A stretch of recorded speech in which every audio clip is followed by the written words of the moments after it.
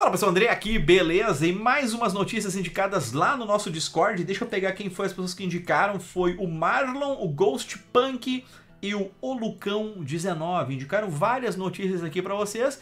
Pra gente ver que a gente mora num mundo onde é, a gente usa a estratégia cloud-to-cloud communication, né? Os palhaços uh, conversando uns com os outros. E vocês vão ver aqui algumas coisas bem interessantes no vídeo de hoje, que é Olha só a expectativa. Olha só, expectativa. Lula lá abraçando um monte de trabalhador, um monte de funcionário público. Realidade. Fecha todo mundo, junta todo mundo aqui pra tirar a foto, galera. A expectativa e a realidade aí, cara. Muito bom, muito lindo, muito maravilhoso. Vambora! O Bruno Perini tá aí, cara. Faz tempo que eu não olho nenhum conteúdo do Bruno Perini, cara. Dólar a 5,59, o salário mínimo nacional 252 dólares. Quem ganha acima de 400 dólares já paga imposto de renda.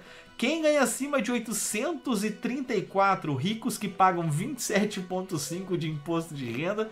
Enquanto isso, nos Estados Unidos, o que, que tem nos Estados Unidos, Bruno Perini? O que, que tem nos Estados Unidos? Nos Estados Unidos, os caras estão contratando, pagando 20 dólares a hora numa rede de fast food. Mais bônus, mais refeições de graça e gorjetas, né? Muita gente falou que no último vídeo que eu fiz falando sobre o poder de compra americano, onde, onde lá é 7,25 dólares a hora mínima, o pessoal falou, André, mas muito difícil ganhar a hora mínima nos Estados Unidos, o pessoal geralmente ganha um pouco mais, ganha 10, ganha 11, ganha 12, né? E tem alguns estados americanos que pagam até 20 dólares a hora para você virar hambúrguer no McDonald's, meus queridos. É, mas não, mas veja bem, André, lá não tem o SUS. E aí o pessoal faz aquelas conversões malucas, que eu não sou muito fã dessas conversões. Se o jovem trabalhar 6 horas por dia, 20 dias por mês, o câmbio atual daria 13 mil reais. É, eu não sou muito dessas conversões. Porque na verdade não existe esse fator de equivalência, né? Se você ganhar mil reais no Brasil, provavelmente você ganharia mil dólares nos Estados Unidos, né? Mas ok, não vou nem entrar nessa questão, porque nós vamos entrar aqui num ciclo sem fim, né? O ciclo sem fim. Vambora. Olha o que, que, tem aqui, cara. Câmara de São Paulo aprova em primeira votação a PL que prevê multa a, a de até 17 mil reais para quem doar comida na rua, tá? Cara, eu particularmente olhei dois vídeos sobre o assunto, eu li algumas coisas sobre esse assunto, eu não consegui entender o que está acontecendo aqui, cara. Eu realmente não consegui entender o que está acontecendo aqui. Câmara de São Paulo aprova a primeira votação, prevê multa de 17 mil reais para quem doar comida na rua. Entidades criticam o que chamam de burocracias que dificultam a doações aos mais necessitados.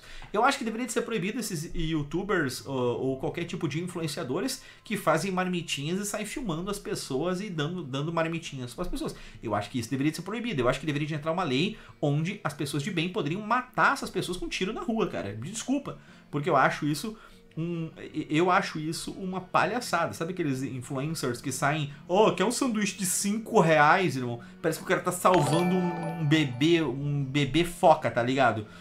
Não, cara, sabe, eu odeio esse tipo de coisa, cara. Eu odeio esse tipo de merda, né? Mas eu particularmente não estou entendendo qual é o motivo das pessoas quererem acabar com a máfia das marmitas.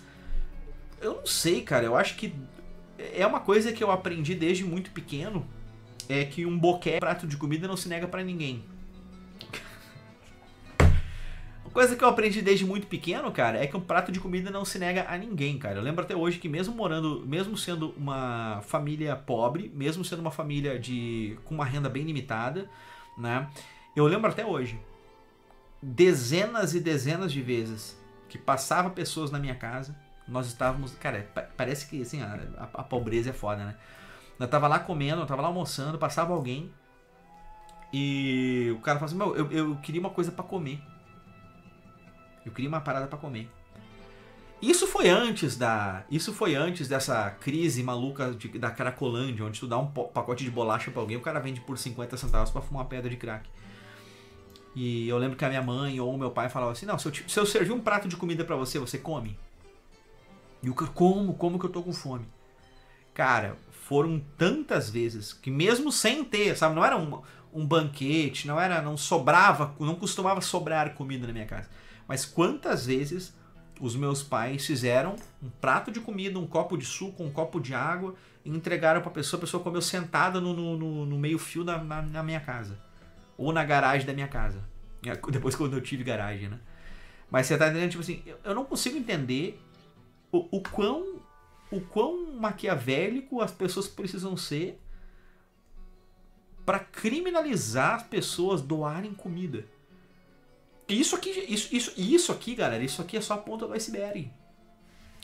Você sabia que restaurantes não podem dar o resto da comida que sobra para moradores de rua ou para entidades ou para pessoas e tal?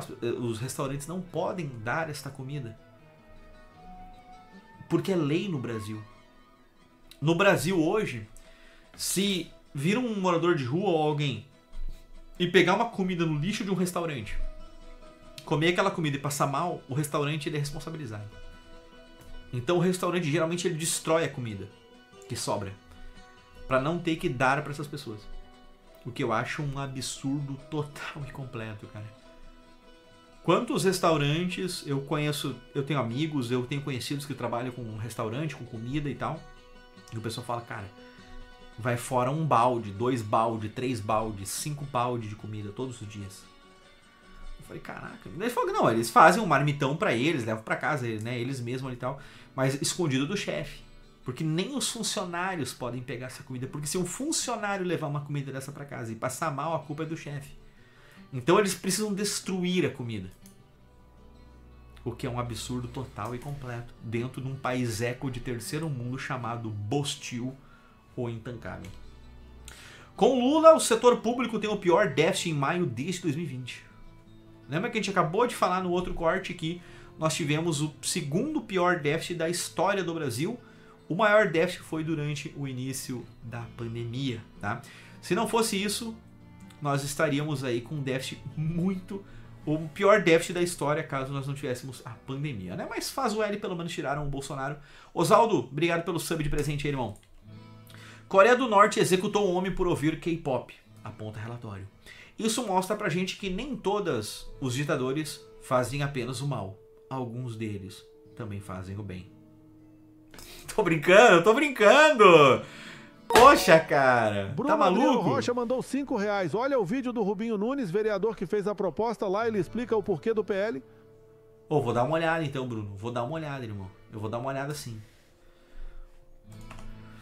Foi demitido por ser autista, mesmo tendo sido contratada para uma vaga de pessoa com deficiência. Bom dia, galera. E aí, agora nós temos. É, isso, quando tem isso aqui, readers, ó, os leitores acrescentaram um, um contexto que você talvez deveria saber.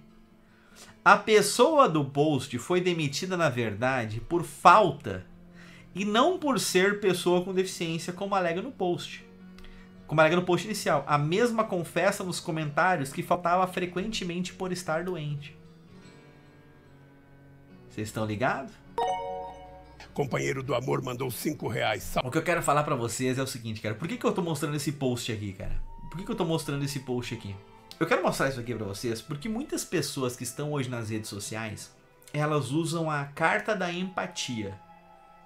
A carta da empatia, ela vem a mil. Ela vem o quê? Ela vem falando, não, porque eu também fui pobre. Porque eu também tenho a mesma cor que você. Porque eu também não sei o quê. Porque papapá. Então, o pessoal, a vitimização isso, isso que eu acho foda, né? Porque uma pessoa que se vitimiza, ela escolhe ser o seu próprio opressor.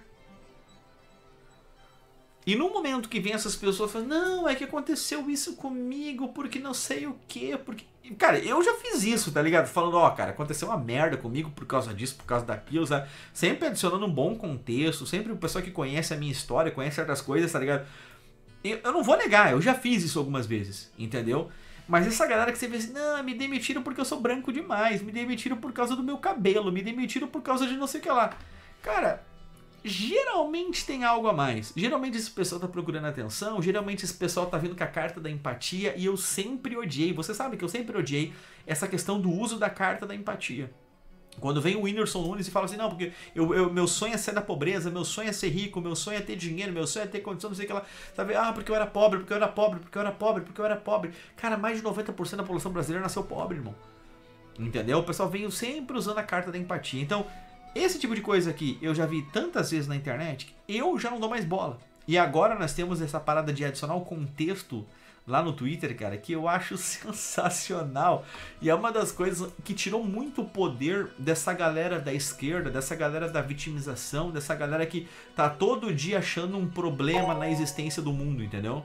Então o que eu quero dizer para vocês, galera, é que prestem atenção no que essa, essa galera tá pregando sempre aí, cara, porque essa parada da carta da empatia sempre fique com o pé atrás se vocês não conhecem aquelas pessoas, porque é muito fácil a gente pegar aqui e ficar uh, jogando pro lado A ou pro lado B certas coisas que a gente vê na internet. Que nem agora a gente tá vendo aquele guri que.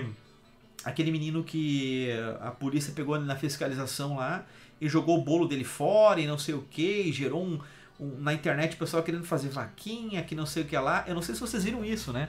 O menino tava vendendo bolo, café lá e coisa, a fiscalização pegou ele, né? E eu não entendi bem por que, que a fiscalização jogou fora, porque se ele é um MEI ele poderia muito bem estar tá trabalhando tranquilamente, vendendo bolo e café pela, pela rua, tá? Uh, e aí o pessoal tava organizando uma vaquinha para ajudar o menino, para fazer uma doação pro menino, e descobriram que o menino fez o L. Vocês viram essa porra não? E o cara, o guri, tem o vídeo, tem o vídeo dele nas, nas redes sociais dele falando mal do Bolsonaro, que não sei o que, o pessoal pegou e cancelou a vaquinha dele. Porque quem estava organizando a vaquinha dele era o pessoal bolsonarista que queria ajudar o guri a, a prosperar. É cancelar a vaquinha do cara.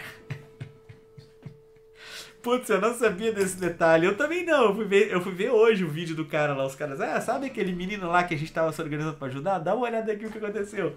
Aí não ajudaram o cara, não. É, pede ajuda pro Lula, filho da puta. Pede, aluna, pede ajuda, sabe pra quem? Pede ajuda pro Lula, filho da puta.